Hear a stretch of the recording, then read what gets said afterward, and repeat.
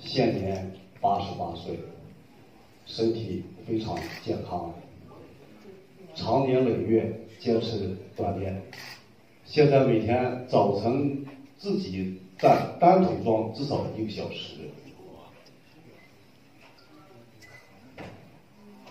郭老现在是中国武术七段、山西省十名武术家。